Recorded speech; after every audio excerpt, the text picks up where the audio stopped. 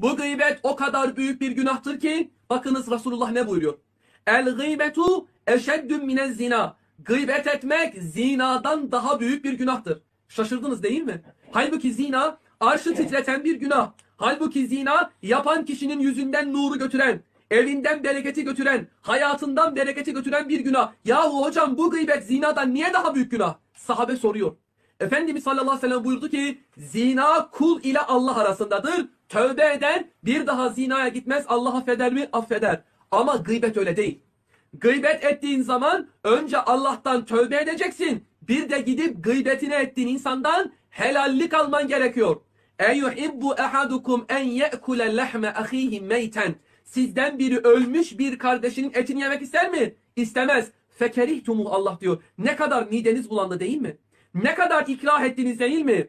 Ey Müslümanlar sakın casusluk yapmayın. İnsanların kusurlarını örtmekte gece gibi olun, güneş gibi olmayın. İnsanların gıybetlerini yapmayın. Size bir haber geldiği zaman da araştırmadan hüküm vermeyin.